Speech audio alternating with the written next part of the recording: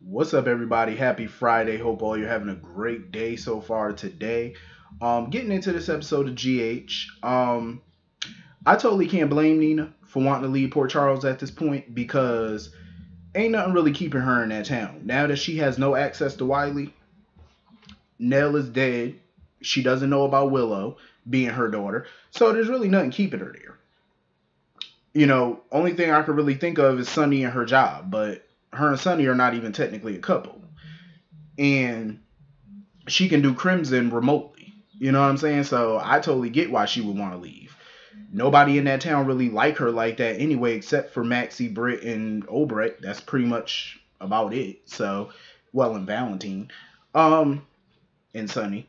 That's pretty much about it. Curtis, Curtis too. But still, it's like she doesn't really technically have any family family like kids or nothing that she know of. Uh, you know, like I said, she don't know about Willow. So I can see why she would want to go. Um because most of the people in that town they don't do nothing but snark at her every time they see her and it's going to be hard for her to see you know to be in the same town as wiley and not be able to really you know see him like that or spend time with him so i could i get why she would want to go um and milan is beautiful i ain't even gonna lie I've never been to Milan, Italy in my life, but I've seen like people on reality shows go to it and pictures of it, and it looks fucking gorgeous. So I could totally understand why she would want to go there. Um, shit, I want to go. Um, I, I, I get it. Um, but yeah, it's I, I totally get why she would do that. But um, Sonny was not Sonny was not about to let her go. Sonny said, "Listen, you need to stay. Don't let nobody run you out of this town. You need to stay here and just, you know, keep on keep it on." Pretty much. Um Nina at the end of the day, she worried about what Michael and Willow are gonna say to Wiley when he get older. You know what I'm saying? Like the stuff that they're she claims, oh, they're gonna put things in his head, lies in his head. But what is what information is a lie though? Everything that was printed in the invader was everything that she's done. So none of it was really lies. So, you know, unless they add their own little revisionist history to it, but other than that, nothing that was printed was a lie. Everything in there was the truth.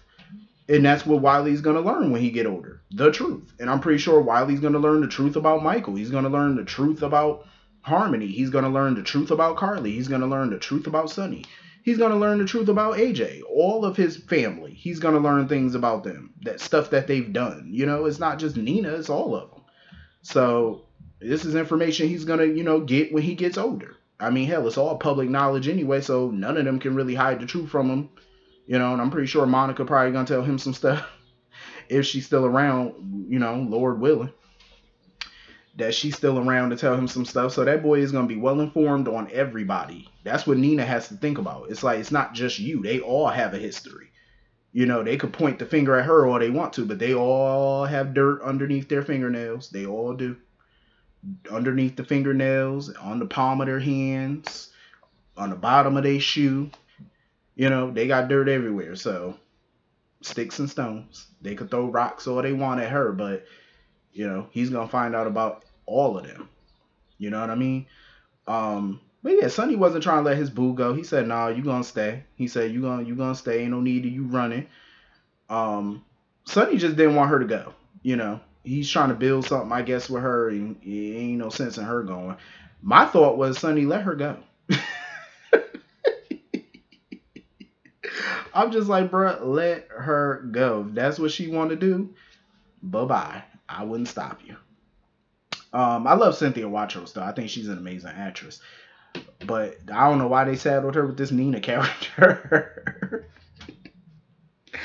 but she need to change up some of her ways though, because she do have a lot of delusional thoughts. Like she lives in sometimes in this little fantasy bubble, and that's like one of my biggest issues with this character. It's like be a bit more realistic. You know what I mean? Like think logically instead of like thinking anything just you know like you didn't do none of these things that they claim you did. You know, you did it. Own it. You know, stop coming up with excuses as to why you did it. Just say, yeah, I did it. You know, you ain't got to say I did it, but because when you say but, that means there's an excuse that's about to follow. I did it. That's all you need to say and keep it keep it pushing. You ain't got to be you know oh I did it because extenuating circumstances or my uh, uh, uh, they don't need to know all that. Just say I did it. just own it. That's all you need to do. That's about it. Um. So anyway, moving on from that, Sam was not playing with Mr. Cody. Sam was interrogation. Like she was straight up interrogating the hell out of Mr. Cody. Um because she was wondering why Dante never mentioned Cody before. And my thing is with Sam, I'm like, what do you mean why he never mentioned him before? I'm pretty sure it's a bunch of people from Sam past she never mentioned. All them little ex-husbands that she had that she boosted. that she fleeced. I'm pretty sure she mentioned them by name. Um, and I'm pretty sure she got childhood friends and stuff that she went to school with that she never mentioned before that might pop up in the near future. You know what I'm saying? Like Dante ain't got to mention every school chum that he's known. You know, he didn't expect to ever see Cody again. They lost touch. But she was interrogating Cody because, you know, when Dante and Cody were reminiscing, they were talking about how much trouble they got into back in the day. And, you know, Sam was under the impression that Cody was the bad influence on Dante. Cody said, uh-uh. uh. He said, uh uh. Let me stop you right there. He said, no, Dante got into a lot of trouble all on his own, all by his lonesome. Don't try to put that off on me. Um, you know, yeah, I ain't no saint, but don't try to put his troubles off on me and making my troubles. No, I didn't get him into all of that. He got himself into it. I don't blame him on that. Like, you ain't about to pass the buck over here. Um, but Dante pretty much made it clear to Sam, like, yeah, Cody, he's a troublemaker. He, you know, wherever he go, trouble follows. I feel like he's definitely gonna be trouble. If they keep him around on the show, I feel like he's gonna be trouble, but he might be the good kind of trouble. Um, they got good trouble, but then they got dark trouble. You know, you gotta know the difference between the two because there is differences. And uh apparently Cody had some little back old back injury that um he kind of got back. You know, he messed his back up even more again when he fell into Britt and stuff like that. Um but yeah, Sam was totally interrogating him, asking him because she noticed he had no ring on his finger. So she was like, You ain't got no wife? He said, Nope, I'm free as a bird. She was like, You ain't got no kids? He said, Nope. She was like, Do you do skydiving and all this stuff for a living or is it a side hustle? You know, he was telling her about various gigs that he take and stuff. Um and she even offered him a job. She was like, you know, I know a job that'd be perfect, basically tending to the stables and stuff, because her kids got horses and whatnot in the stable. But you know, Dante was like, yeah, he wouldn't be good at that a part of me felt like Dante was trying to get rid of him. Like Dante didn't want him to stay in Port Charles. But he made it clear though, like Cody is not the be in one town forever kind of person. He likes to move around. And Cody admitted that he does like to do that. My question is, when the hell did Monica get horses and stables? Because Sam was like, oh, they got horses in a stable at, at their grandmother's house. Monica got horses on the property now? I guess that's something new she started doing for the kids. I guess that's dope. Having horses and stables on your on your grandparents' property that you could just go ride and stuff. That's hot. I like that. Um, but yeah, I don't I don't trust Mr. Cody. Some tell me he gonna be uh, a very bad influence on some people in Port Charles. Um, then they got to talking about Sonny because he found out that Dante is Sonny Corinthos's uh son and whatnot, and he said that he knew the name Sonny because of the coffee and all the various other things. Um, so he know of Sonny. Um, but yeah, I can't wait. I'm ready to see what's what they're doing with the Cody character. I want to see like what kind of trouble is he gonna be, like a good kind, dark kind. Like I want to really know like what's his angle and like what he running from, like what's his background? Because I know he got a bigger story than just him and Dante being at summer camp together and getting into trouble doing pranks. So I'm pretty sure it's something more to it than that. If I had to guess, I'm pretty sure. So anyway, moving on from that, Josslyn wanted explanation. She wanted a, an explanation from um Cameron about what the hell's been going on with him because she was like, "You've been seeming real shifty lately." she was like, he been acting funny lately, like, and he was about to tell her. I think he was about to confess to her um, about Spencer's plan, but of course they get interrupted by Adam, which is uh, Joshua Benard, Maurice Benard's real life son. Um, Adam wanted to apologize to Josslyn because about you know his remarks about the sex tape and all that after seeing her interview in The Invader, he felt he owed her an apology because it was brave of her to even talk about that. And he knew that had to be a rough experience for not only her, but Cam too. And he felt like they were both brave for even speaking up publicly about it. So I'm glad that he apologized because he was acting like a little jackass the last time she seen him. You know, like a little smug little idiot. So I'm glad he learned something from reading the article and he apologized because that was the right thing to do. Because if he came back with some foolishness, I'm pretty sure either Cameron or Josslyn or both would have knocked him on his ass if he came back with some more foolishness. So I'm glad he finally got some act right and he, you know, got some sense about him this time. Um, but since they got interrupted, Cameron decided not to tell Josslyn about Spencer's plan. Instead, he just chalked it up to the stuff that's going on with Elizabeth as to why he's acting so weird and stuff lately because he's worried about her. Cameron better do something because we all know Josslyn is a lot like Carly, and you know how Carly react when people keep secrets from her and stuff like that. She doesn't react nicely, so I'm pretty sure Josslyn probably won't react too kind to this either. She might forgive him, I'm sure, but she gonna be a little frosty about it when she find out that he's been keeping this from her all this time because she's ready to shut Esme down at this point. Um. So anyway, moving on from that, I love the scenes between Rory and Trina. I always do. I always enjoy those scenes. Like they just be hanging out, just vibing and stuff like that, and the chemistry is definitely there. The chemistry between them is hot. Um, and I just feel like, you know, even though I don't know a lot about Rory or who he's connected to or what his backstory is, I really like the vibe between them. And I feel like his interest in her could be genuine. I feel it is so far. Um, and he's genuinely feeling her, you know, and I feel like he's a man, you know what I mean? Like, this is what happens when you drop a boy and get with a real ass man, and that's a man right there, you know, he ain't with them games like Spencer. Um, and he's definitely helping to take her mind off that boy, too. Cause you can see she be blushing when she around him. Like she just be ogling that boy. Well, that man. Um and she suggested, you know, they tried out a, a, new food truck and stuff, and you know, he was all smitten. He was like, I can't uh, wait to see what else you teach me about and stuff. I was like, oh, I'm pretty sure Trina, both y'all could teach each other a few things if you know what I mean. um, and they timing was on point because Taggart was just about to leave the house. As soon as he opened up the door, boom, spotted him on the porch. And you know Taggart, he was in full on dad mode. He was like, "Oh, y'all can come in. I want to talk to him anyway."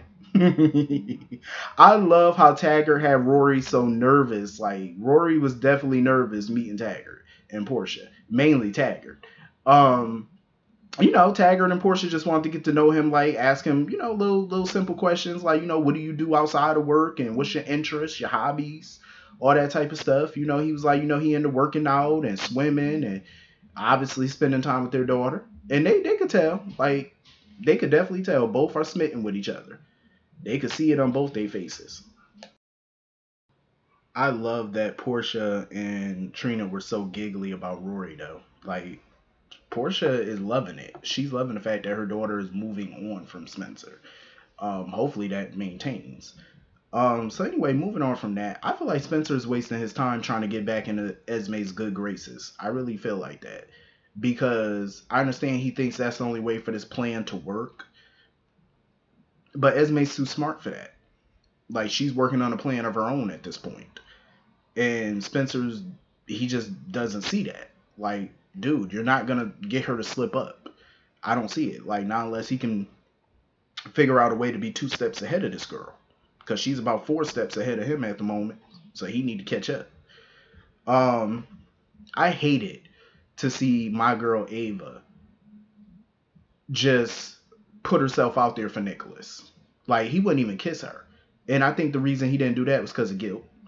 Um, but I, I, felt like he was gaslighting her in a way, talking about, oh, I was almost about to give up on our marriage, and I don't know if we can get back to where we was, and yeah, because you know that your ass messed up. That's why.